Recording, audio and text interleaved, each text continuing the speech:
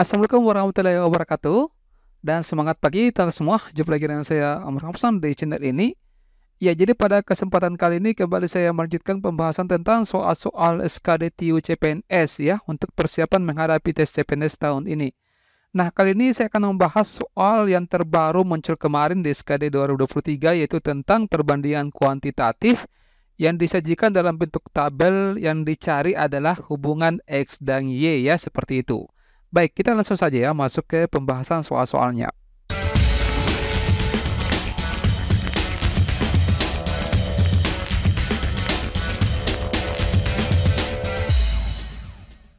Ya, tapi sebelumnya teman-teman semua saya sangat berharap teman-teman semua menyediakan dulu alat tempur ya, sediakan alat tulis dengan cakaran-cakaran. Karena sebelum saya bahaskan soal per soal ya dalam di slide ini, saya memberikan kesempatan kepada teman-teman semua untuk mencoba memahami kalau misalkan mau dikerjakan silakan di stop videonya ya. Dan saya berharap kalian menyimak pembahasan sampai selesai dan kalau misalkan ada oleh-oleh itu wajib dikerjakan sebagai latihan ya. Baik, kita mulai dari soal nomor satu. Saya jalankan dulu waktunya.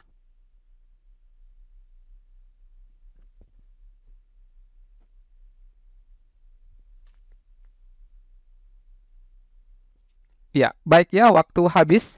Di sini soalnya diketahui 12A per 2B tambah 3A ditambah 1 sama dengan 4. Manakah hubungan yang benar antara kuantitas X dan Y di sini ya? Maaf, ini salah ketik. Berikut berdasarkan informasi yang diberikan. Nah, ini kita selesaikan terlebih dahulu ya. Karena ini ada pecahannya di sini, penyebutnya. Maka kita hilangkan dulu dengan cara dikali semua dengan 2B tambah 3A. Ya, seperti ini.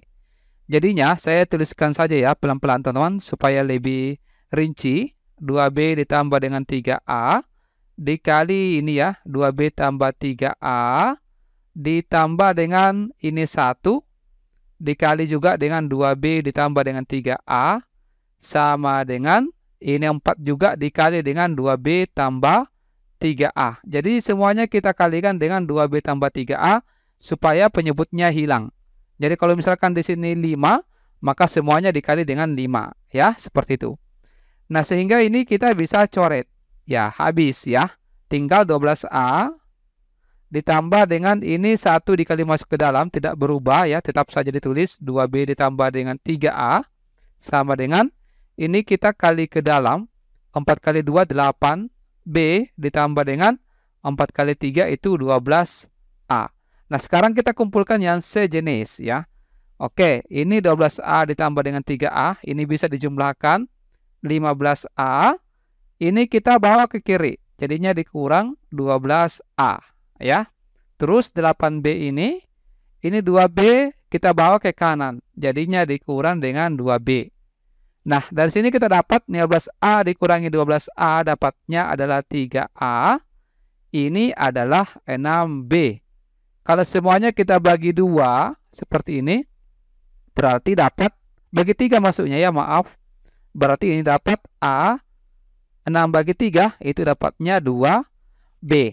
Jadi A-nya itu 2B teman-teman. Ini kita bisa ganti dengan 2B. Nah sekarang kita sudah bisa tentukan X-nya berapa. Jadi X-nya itu adalah 50% dari A. Dari ini berarti kali. Jadi 50% berarti 50 per 100 kali A-nya itu adalah 2B. Ya.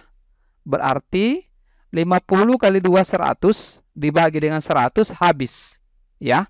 Jadi X ini sama saja dengan B. Sementara Y itu sama juga dengan B.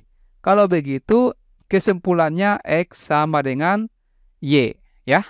Semoga dipahami ya teman-teman semua supaya lebih ini bisa ditanyakan di kolom komentar. Baik, kita lanjut ke soal nomor 2. Coba dipahami dulu.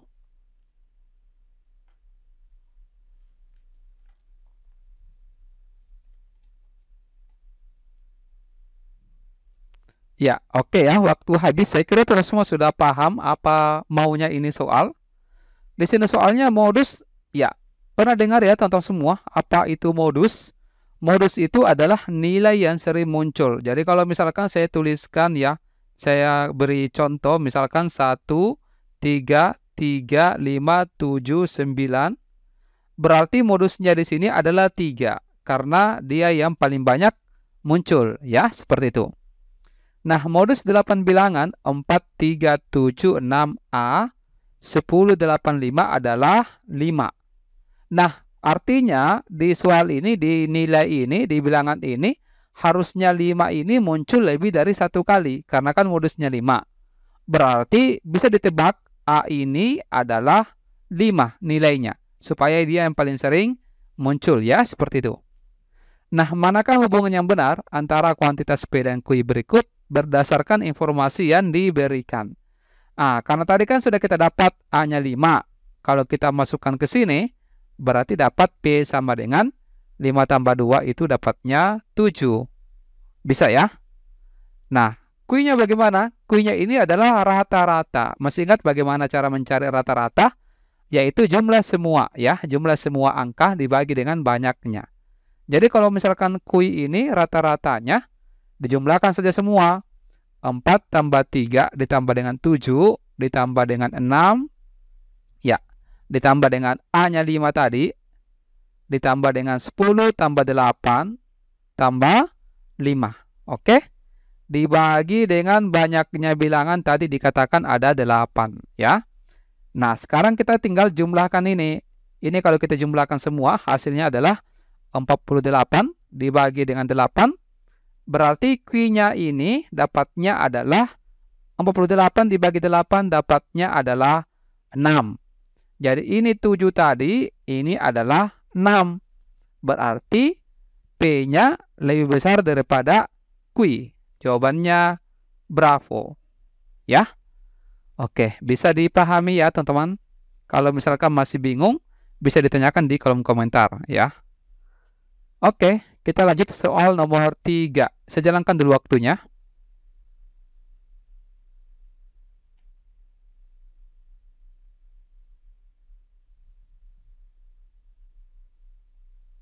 Oke, waktu habis ya. Coba kita lihat sama-sama. Ini soal cerita. Harga 1 kg jeruk dan 2 kg mangga adalah 39.000. Nah, ini kalau misalkan ada dua yang diketahui seperti ini, ada dua variabel seperti ini, biasanya ujung-ujungnya ini dikerjakan, diselesaikan dengan menggunakan metode eliminasi substitusi, gitu ya. Nah, Selisih harga 1 kg jeruk dan 1 kg mangga adalah 3000. Nah, manakah hubungan yang benar antara kuantitas P dan Q berikut? Ini saya ganti salah ganti lagi ya. Harusnya X dan Y. Oke. Nah, berarti ini kalau kita mau selesaikan, kita tuliskan dalam bentuk persamaan begini. Ini jeruk ya ditambah dengan 2 kg mangga 2M itu sama dengan 39.000 ya. Seperti ini. Kemudian selisih harga 1 kg jeruk dan 1 kg mangga berarti J dikurangi M sama dengan 3000 ya. Ini kita bisa langsung eliminasi karena sudah ada yang sama variabelnya. Ya, ini kita bisa langsung perkurangkan ya. Ini habis 2M dikurangi dengan minus M itu jadinya 3M. Sama dengan 39.000 dikurangi 3.000 itu dapatnya 36.000. Oke? Nah, berarti M-nya 36 bagi 3 itu dapatnya 12.000. Jadi harganya AM ini 12.000. Untuk dicari J-nya, jeruknya, ini kita bisa masukkan ke sini gitu ya. Ganti M-nya dengan 12.000. Berarti J dikurangi dengan 12.000 sama dengan 3.000. Berarti kalau kita pindahkan minus 12.000 ke kanan, 3.000 tambah 12.000 jadinya 15.000. Nah, sekarang X-nya kan sudah diketahui 15.000. Y-nya itu adalah jumlah uang minimal yang cukup untuk membeli satu jeruk dan satu mangga. Berarti tinggal dijumlahkan saja ya. Ini jeruknya 15.000. Ya. Ditambah dengan mangga itu 12.000. Berarti jumlahnya ini adalah 27 ribu. Apa kesimpulannya teman-teman? Berarti kesimpulannya di sini X ini kurang dari Y. Karena ini kan Y-nya 27 ribu ya. Jawabannya adalah B. Bravo. Bisa ya teman-teman? Oke. Kalau sudah, kita lanjut ke soal nomor 4. Coba dikerjakan dulu.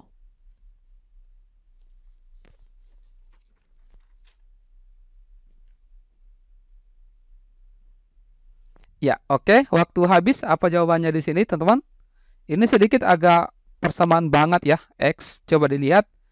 Jika X lebih dari minus 6 dan kurang dari 4, manakah hubungan yang benar antara kuantitas P dan Q berikut berdasarkan informasi yang diberikan ya. Nah, ini uh, apa namanya? Karena X-nya di sini tidak jelas ya, maka kita harus menggunakan prinsip coba-coba ya. Cara triple C, cara coba-coba. Jadi kita akan mencari X-nya yang ada di antara di sini, kemudian kita masukkan kedua persamaan di sini P dengan Q-nya. Nah, misalkan X-nya kita ambil mulai dari yang negatif, kita bisa ambil dari X-nya minus 5, karena lebih dari minus 6 ya. Kita masukkan ke P-nya. Ingat kalau nilai mutlak ini yang tanda lurus seperti ini teman-teman, itu berarti harus positif ya. Adapun kalau misalkan kita dapat hasilnya negatif, hasilnya negatif itu kita jadikan ke positif ya. Coba kita masukkan di sini. 3 dikali minus 5 itu minus 15 ya, pelan-pelan saja. Minus 15 dikurangi dengan 10 ya berarti minus 25 tapi karena ada nilai mutlaknya itu kita ubah jadi positif 25 sementara kuinya kalau kita kasih masuk berarti 3 dikali minus 5 itu minus 15 tapi jadi positif 15 15 kurang 10 itu berarti 5 ya berarti P nya lebih dari kui tenang dulu ya kita bisa tidak bisa langsung simpulkan. Kita ambil yang 0 antaranya Berarti kalau 0 dikasih masuk berarti 3 dikali 0, 0 dikurangi 10 min 10. Nilai mutlaknya min 10 itu adalah 10. Ya. Q-nya bagaimana? 3 kali 0 itu 0. 0 dikurang 10 itu minus 10 ya. Kita negatifkan karena tidak ada negatif tidak ada tanda nilai mutlak di sini. Ya nilai mutlak cuma yang ini. Gitu ya. Berarti ini lebih dari Oke, satu lagi ya kita simpulkan. Kita ambil yang positif, misalkan tiga kita ambil, boleh satu atau dua terserah ya, bebas saja. P-nya sama dengan ya 3 dikali 3, 9, 9 kurang 10 itu min 1, tapi kita kasih positif 1. Q-nya bagaimana? 3 kali 3, 9, nilai mutlak 9 ya 9 dikurangi dengan 10 berarti min 1. Ini juga lebih. Berarti kesimpulannya karena tiga percobaan lebih dari semua, berarti kita bisa simpulkan P-nya lebih dari Q, ya. Jelas ya, teman-teman? Oke, next lagi. Ah, ini teman-teman kalau misalkan kalian semua mau memiliki buku khusus TIU ya, boleh kalian pesan di toko Sofi Ruang Tentor Official ya. Oke, ini saya skip saja. Kalian kalau misalkan mau cari lebih jelas infonya, dicari saja di Shopee uh, Ruang Tentor Official. Oke. Next nomor 5. Coba dikerjakan dulu.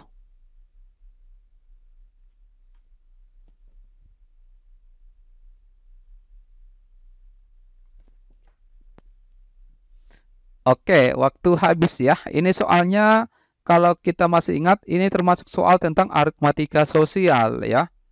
Nah, di sini soalnya Budi dan Dona membeli baju di, di dua toko berbeda ya berturut-turut di toko X dan Y gitu ya dengan harga yang sama. Jadi harganya sama untuk baju yang dibeli meskipun di tokonya berbeda. Toko X memberikan diskon 40% tambah 30% ya. Sering kita dapatkan mungkin diskon plus-plus seperti ini ya. Sedangkan toko Y memberikan diskon 58%. Nah, yang manakah hubungan kuantitas P dan Q berikut berdasarkan informasi yang diberikan. P-nya di sini adalah uang yang dikeluarkan Budi untuk membeli baju, ya. Q-nya adalah uang yang dikeluarkan Doni untuk membeli baju. Jadi sebenarnya kita akan menentukan berapa harga baju setelah didiskon di toko X ini 40%, 40% plus 30% dan berapa harga baju setelah didiskon di toko Y sebesar 58%. Nah, ini saya langsung berikan cara silumannya ya untuk apa namanya soal yang menggunakan diskon plus plus atau diskon yang bukan plus plus seperti ini. Ya, langsung saja ya untuk uh, apa namanya harga untuk budi. Maksudnya harga yang dibayarkan untuk budi gitu ya. Harga untuk budi. Caranya seperti ini. Kita perkurangkan masing-masing ya. Uh, dengan 100, jadi 100 dikurangi berapa besar diskonnya. Jadi 100 dikurang 40 itu 60. Kita tuliskan persen. Karena di sini tambah, itu sebenarnya pada hakikatnya kalau diskon plus itu adalah dikali gitu ya. Jadi 100 dikurangi 30 itu dapatnya 70%. Kemudian dikali dengan harga baju semula. Karena kita tidak tahu berapa harga bajunya ya. Kita misalkan saja dengan X, A maksud saya. Gitu ya. Berarti ini kalau kita selesaikan, nolnya ini kita bisa coret 2 di bawah. Jadi 6 kali 7, 42 persen. Jadi sebenarnya diskon plus plus 40 tambah 30 persen itu setara dengan 42 persen. Bukan di jumlah teman-teman ya. Hati-hati, bukan di jumlah. Nah, terus harga untuk siapa ini yang satunya? Dono. Ah, berarti dengan cara yang sama kita perkurangkan 100 dikurangi diskonnya. 100 dikurangi 58 itu dapatnya adalah 42% dari harga awalnya. Nah, ini langsung saja ya. Ini kan 42% dari A, ini juga 42% dari A. Kalau begitu harga diskonnya sama, besaran diskonnya sama berarti harga yang dibayarkan juga itu sama. Jadinya P sama dengan Q ya. D jawabannya. Oke, dipahami? Untuk nomor 6 ini, teman-teman coba-coba uh, kalian yang kerjakan dulu ya. Ini saya jadikan sebagai oleh-oleh.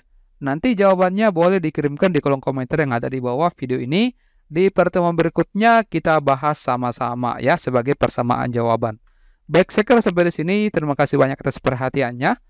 Semoga kalian bisa lulus tes pada tes CPNS tahun ini ya. Saya akhiri. Wassalamualaikum warahmatullahi wabarakatuh. Dan semangat pagi.